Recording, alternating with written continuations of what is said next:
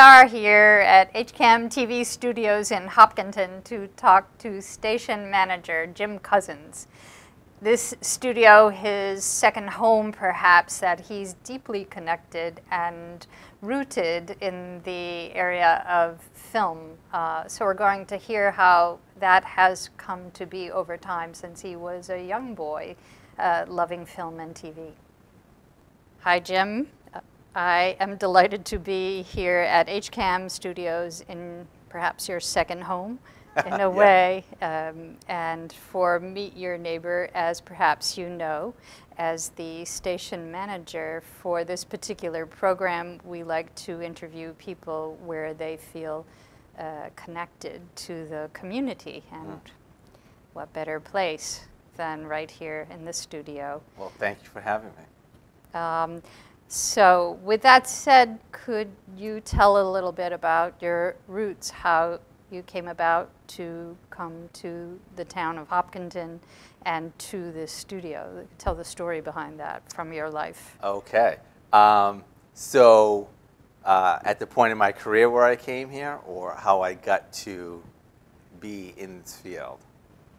Um, well, let's say the first one. Uh, what do you want to do? All right. Well, I think it's kind of like a linear line. It, okay. So Let's when I was linear. when I was going to go to college, uh -huh. I wanted to be Steven Spielberg, oh, and my wow. parents said, "That's nice, Jimmy, but you like computers too, and you can make a living on computers." Mm -hmm. So I went to UMass Lowell, mm -hmm. and I started in computer science, and it was the worst year of my life. Oh. I just wasn't cut out for it. Mm -hmm. So I said, I, I can't do this. I have to go to another school because they didn't have TV at, um, at ULowell. And my parents were very supportive of that. I ended up at BU uh, with a degree in broadcasting and film. Uh -huh. So I got out of there and ready to go off to Hollywood, but I didn't want to, you know, leave Massachusetts. I started looking around here. Still wanted to be Spielberg? Yeah. Uh, well, I was thinking so. Mm -hmm. I was mm-hmm. thinking so. I think I get a little bit of experience. Mm -hmm. So the first opportunity I found was a production assistant at the Westboro community TV station, mm. WCAT. And within six months, I realized that instead of making a movie that millions of people can enjoy for two hours, mm -hmm. I would rather spend my career at a little TV station that a town could use mm. every single day. -hmm. So that was, and I never had a term for that -hmm. until many years later when I was listening to somebody talk. That's my passion. My passion is community information. So um, I had a great time. I worked for Greater Media Cable. I worked at several different stations, Westboro and Northboro, um, Grafton, Holden, uh, and then I ended up coming back to Westboro to be their director, the public access director. So I, I ended up working for Greater Media for about 10 years. And uh, during that time, I met my wife, and I got married, and she mm-hmm. worked in Southboro. Mm -hmm. So we were thinking we'd like to, you know, get a home in the local area. And it was either Westboro, where for the where for the same amount of money as Hopkinton, we would get half the land. And my father-in-law said, I like the land. Yeah. So we ended up in Hopkinton mm -hmm. and um, uh, raised our kids here. Mm -hmm. I have three kids. Mm -hmm. And um, then I left Westboro so that I could raise my kids for a while. Um, we had a daycare provider who moved out of town, and uh, it just seemed like, you know what, I wasn't bringing home a lot of money after paying for daycare. It yeah. was really expensive. Mm -hmm. So I stayed home with my kids for about six years. Wow. Got to see them grow up and form a relationship with them. Um, and then they started going to school, and I was ready to get back into the workforce. While I was a stay-at-home dad, I used to do websites ah. for a couple mm -hmm. companies. Mm -hmm. um, I was doing the town's website mm -hmm. as a volunteer, mm-hmm. and then I created the first website for the um, school system that they that they ever the very had. first one. Imagine ah. that, the mm-hmm. first one. I, yeah, I got we take it for granted now. I know, I know. Even cereal boxes have websites. Mm-hmm. Um, so then, uh, when I was getting ready to go, uh, the town was negotiating a new contract with the cable company about how to provide community TV. The cable company used to run everything, but things were changing. They just wanted to fund it and have the town run it. Mm -hmm. So the Board of Selectmen formed the nonprofit Hopkinton Community Access and Media, mm -hmm. and there's a, there's a board of directors. Um, the Board of Selectmen appoint one member, the school committee, uh, I mean, sorry, the superintendent appoints one member, and then the other three members are elected by members of HCAM, I the see. volunteers who uh, work here. So the board did interviews and they hired me as um, their first manager, the station manager. And it's, I've been here ever since. 2004. 2004. And here we are, 2019. That's a long time in one place. I know. And I usually see you with a smile on your face here Mm-hmm. in the studio, um, and I hear a lot of um, good talk about uh, connecting with community through cable television and its related events. hmm Um, so congratulations Well, to thank you, you. on uh, that uh, story, that achievement over time on what you love to do. I'm curious about the what you said, the click that happened over in the Westboro uh, station, Mm-hmm. that you kind of let go of that Spielberg uh, vision and something else happened. You and you Right. and you decided you were for community cable TV instead. Yes. What was that about? How that that was about seeing the power of what we can do. Hmm. And the hmm. tagline that I created over in Westboro was to inform, educate, and entertain our hmm. community. Hmm. So I always say, you know what, this is TV, we can do anything. And it's so exciting to be a part of keeping the community aware and informed and entertained. Before HCAM existed, it was called Hop TV. And I was working in Westboro and I was volunteering Ah. here because I mm-hmm. felt like I live in Hopkinton, I should mm-hmm. volunteer here. Mm-hmm. And my volunteer contribution started off as covering school committee meetings. And people would say, Jim, how can you do that? It must be so boring. And I would say, boring. I'm the guy standing there behind the camera, connecting everybody in town to really important stuff that's happening at these town meetings. That's actually exciting. So, I, you know what? Everybody's made for different things, and I just find that thrilling to be a part of that. Well, that's great. And uh, so we are fortunate to have had uh, you step into those roles and, and, and make uh, change for our town as well with the contribution. It was really exciting because when I worked for the cable company, oftentimes, you know, the party line was we have to fulfill the requirements of the contract. And we have to like teach people in town and then they can make whatever shows they want. But when I got here, um, the board really supported uh, the vision that I had, which is of all of our community, this percentage of it is going to come in and learn how to make TV shows. But what about all of these? These are all the viewers. These are all the people who are going to be connected to everything else going on. So, um, so that's a whole different mindset. It, it turns it into how much can we do and what's next around the corner. We're always trying to think of what's next, how to, new ways to connect people, coming up with new programs. Uh, we do underwriting for businesses. We have our community groups program for the nonprofits. We do a lot of government meetings. Um, just all the pillars of the community. We try to we try to be intertwined with them. What are, could you name maybe two or three little highlights, uh, you know, very brief, in a brief amount of time because I have other things I want to cover, but that come to mind over that span of years you've been here? Well, um, Very cool moments. one of my maybe? first loves was all about Hopkinton Mm-hmm. because when I first came here, started volunteering, um, Jim Cosgrove, who wo- worked for the cable company, was running it, said, "You know what? This this show used to happen, but it doesn't happen anymore." And I said, "That name is too good to not Mm-hmm. have a show." So we started doing it again. And at that point, we didn't have a studio in town. We would go to uh, Milford and empty out an office and work in there. Then we would work down there. So I've, I've been doing that one. We've been a part of that one for a long time. Um, so that that was that's like exciting for me. Yes. Um, uh-huh. When I get a phone call and somebody says, "Hey, um, are you guys covering the girls' basketball game tonight?" Mm-hmm. and I say yes, and they say, "Oh, that's so good because you know what? I'm in Florida on business, but now I can tell my girl that I'm going to watch her live. That is what we are all about." Yeah. And I know I used to think about but what can I do to like to make people recognize us? And one day, early on, when I was working on a Wake Up Smell the Poetry, um, I was walking in the hallway, and these two people were walking down, and they said, boy, that's kind of a cool studio, isn't it? And the other one said, yeah, it is. And I realized it's a, it's a process, and everything that we do will raise awareness with a few more people. Um, and you know, people come in and they use our space for meeting space. It's just so exciting to be involved with all these people who are working to make Hopkinton a really great place. And you've had people uh, from all stages of life uh, Yes. as part of uh, the programming Right, here exactly. as well, right? When you have cable TV and you go to the Golf Channel, there's one reason you go there and you know what it is.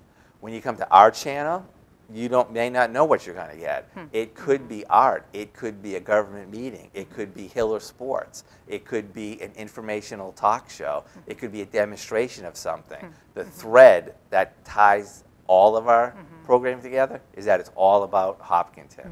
So I always used to say, you know what, people don't watch us because we look like Channel 5. They watch us because we're local.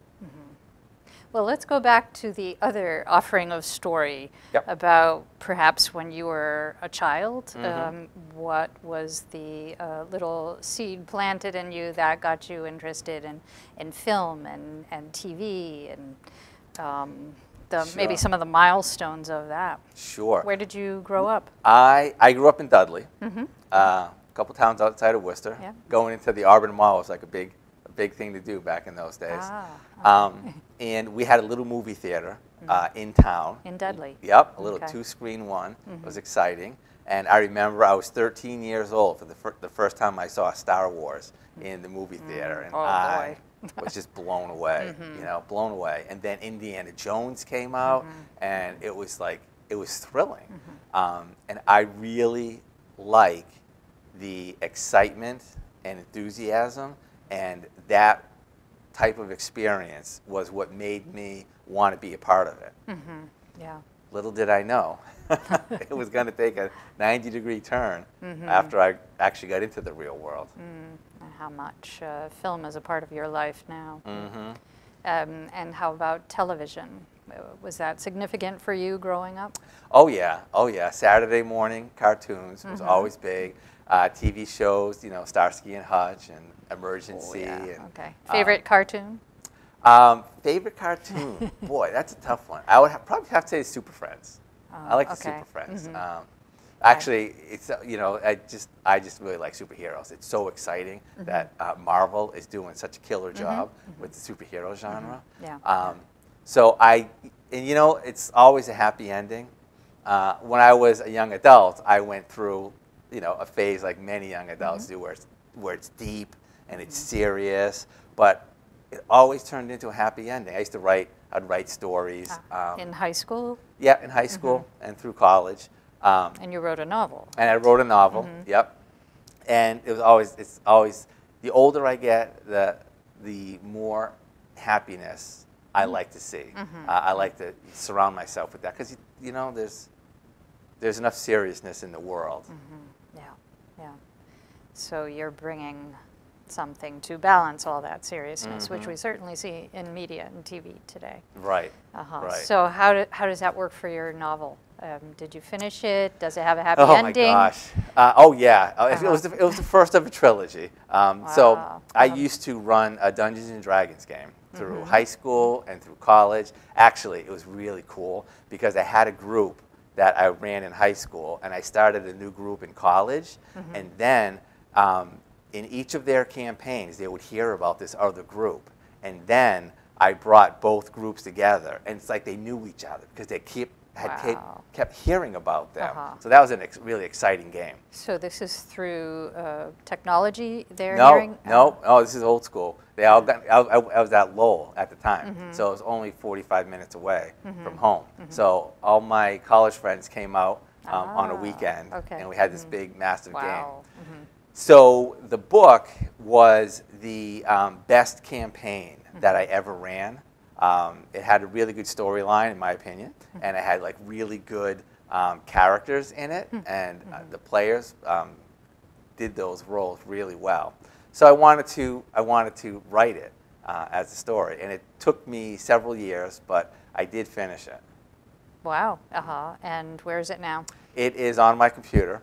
Um, it sat there for several years, and then I had kids, and I kind of got away from it. And one time I was like, you know what? My kids are old enough now. Mm-hmm. I'm going to read my story to my kids. Mm-hmm. And how exciting will this be? Mm-hmm. So they jumped on the bed, and I pulled up a chair, and I pulled out my story.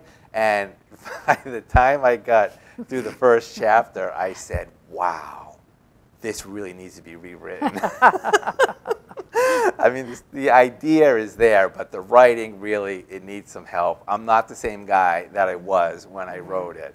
And um, I don't think I expressed myself as well as I should. So, um, so yeah, at some point I'm gonna, I'm gonna revisit that and rework it. How did your kids like it? They agreed with me. Oh, okay. well, there's always editing for later on. There is. There, um, you know what? I mean, you can spend the rest of your life making a piece of art perfect. You know, um, and Yeah. I've always been of the of the mind that you take what you learn from one show and you go on, you make the next show better. So I kind of wrote that, and then I never went back to you know polish it up and perfect it. Um, and you had a little interest in writing as well, Yes. Yep. that you spent that much time. Yeah, same thing. You know, you like when you're writing, it's just words on a page, so it can be anything. Um, so that to me is very exciting. Um, making TV is hard. Uh, I did a scripted show with a, um, a summer camp in connection with the Y. I had 15 kids aged 13 to 15. I wrote a 30 page script, which is 30 minutes long, and I had them for 40 hours. Oh. On the 40th hour, we shot the last scene of that 30 minute show. And that doesn't include editing, because I was editing outside Wow, of that. wow. So I always say that as an example of it takes a lot of work. But when you're writing, anything, you can do anything. And it's- you, you just describe it, and uh, I find that incredibly exciting. So, you know, who knows? Stay tuned perhaps later on for future novels and TV shows. Yeah. Who knows? Yeah. I know. I, uh, you know, I love that. I Yeah. Mm-hmm. love that. It's hard to get to. Most of what we do at HCAM, we cover things that are going to be happening anyways to Mm-hmm. bring them to our community, or we have things that are presenting information. Um, uh, we don't do a lot of scripted stuff, Mm-hmm. which you know, I wish we could because that's the most fun. Mm-hmm. Yeah, yeah. Well, um, let's see. Uh, and backtracking a little more, uh, how your life intersects with this work that you love. Um, I hear references to the importance of community for you, for your work, um, for this station. How do you think that uh, connection, that importance of community, uh, became cultivated in you, uh, perhaps in, in childhood at some point? Probably, um, my father was a founding member of the Dudley Lions Club, which is celebrating their 50th year this month, actually. Wow. And so I always the Lions saw. Club uh, honor. Uh, uh, can you define the Lions Club and um, what they do? Oh yeah, absolutely. It's an international organization of clubs, usually by town. So um, Hopkinton has one, and basically it's a group of people who look to support their community. They run they run events that um, they gain money that they can then go out and support their community. Okay. So for example, this is kind of the formative thing. I remember as a kid, my father would come home with these big cardboard boxes of light bulbs, and they would mm-hmm. walk up and down the street and they Wow. would sell light bulbs to people. Wow. And that's how they would get money. They mm-hmm. also run an old time car show once a year. Mm-hmm. So the ticket sales uh, that come in and the sponsors that they get give them money. Which they then turn around and they run programs. For example, a big one that they run is um, Christmas baskets. So if people are in need um, during the holiday season, they can get a basket with some gifts for their kids and some food and uh, for a nice meal and stuff like that. And if somebody, they're big into um, sight too. So if there's a person in town who needs glasses and can't afford it, they help out with that. Wow. Um, and then you know sometimes they would get together and they would like you know build um, a ramp for somebody or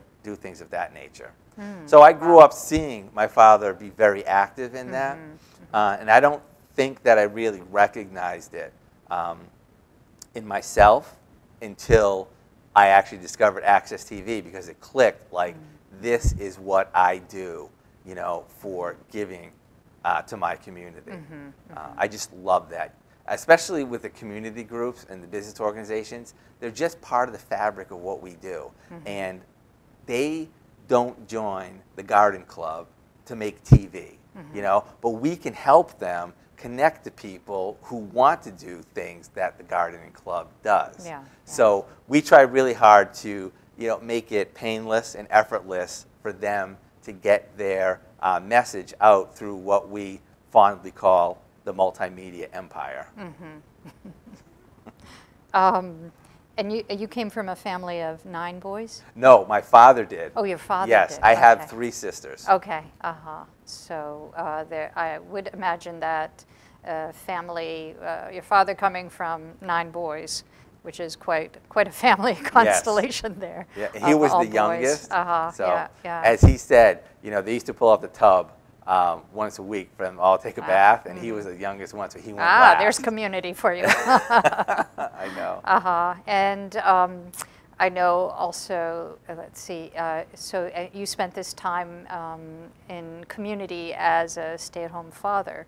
Uh, go back to that just for a couple minutes, Yeah. um, which uh, is uh, perhaps it was a shift of uh, role for you. Um, and Yes. how did, how did that work? What did you learn from like- being home and letting go of what you love to do? Right. It was like closing a loop because, as my father told me, um, uh, as time went on, he never had a father figure in his life. His father had left the family, and he just had these eight older brothers, and it was pretty rough and tumble. They never had any money.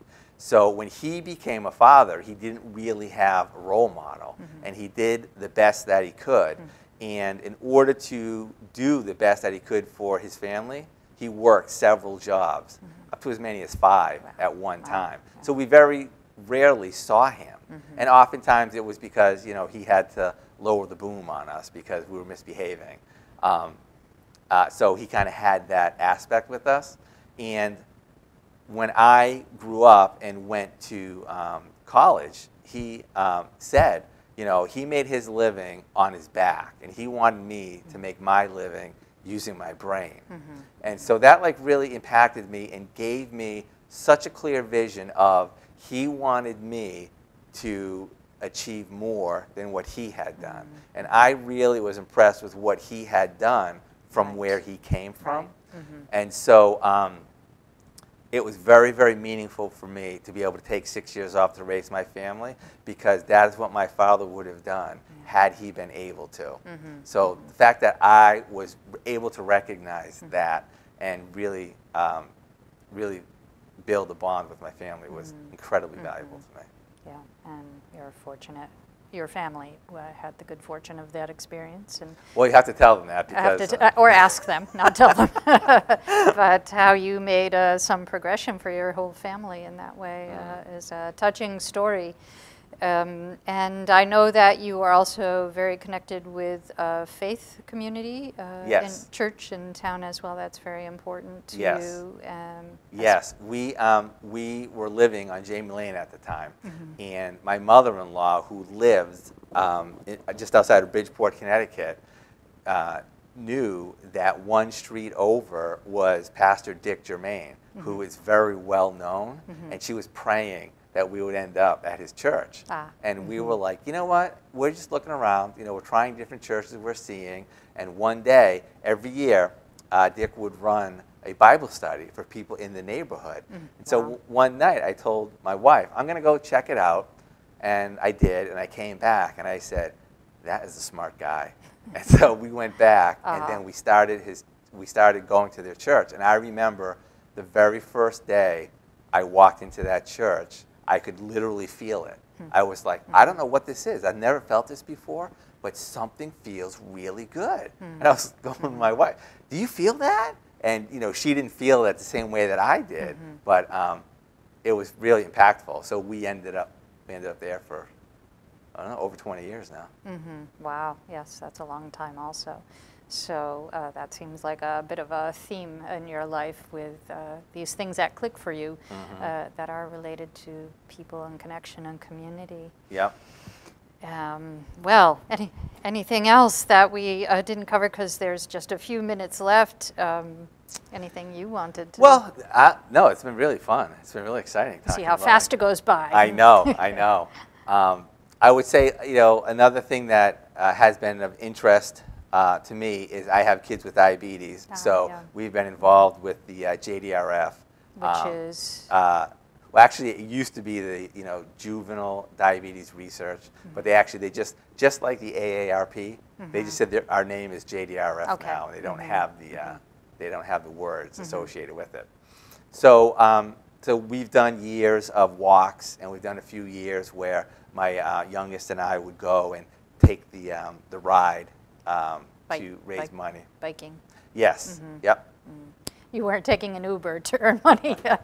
no, what was great the first year, I can't remember where we went, but it was um, very flat, Uh-huh. and we we like trained out here on all these hills, Mm-hmm. and it was awesome. we were just gliding right along. Well, it's a wonderful way for you both to have connection toward this common goal. And when is Yes. the next uh, ride? Uh, right now, we're not we're not I'm not signed up for this Yeah, year, mhm. um, uh, and I'm not sure when the next one that will be. hmm Yeah, yeah, but uh, it's a way that you have uh, worked on dealing with juvenile diabetes all together as a family as well. Yeah, we try to give back. You know, Mm-hmm. I mean, they do a lot of good. They fund a lot of good research, and the Mm-hmm. technology that's coming out of that is astounding. It Hmm, yeah. really is. So we're really grateful for Yeah. all the work. Well, technology is uh, kind of a common uh, theme of yours. Uh, like it or not, you went to college and you had a little bit of that, and you are kind of the guru around here in technology, and it, it feeds into your wonderful work here at HCAM Studio. Um, and I see that we are now out of time, unfortunately. But um, I don't know. You have a bit of uh, guiding wisdom to send us off to about about life, what you've learned at this point. Uh, Uh, I would say that, you know, just be aware. Mindfulness is such an important skill. Mm. Just be aware of yourself in the present time, in the moment, and enjoy it because, you know, there's so much there's so much goodness in the world if we if we kind of meditate on that. Mm, and coming from a TV media studio, that is important.